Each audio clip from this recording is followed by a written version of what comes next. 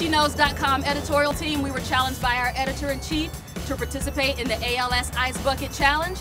And so we are challenging these sites to do the Ice Bucket Challenge or face the consequences. You ready, team? Yeah. Ready.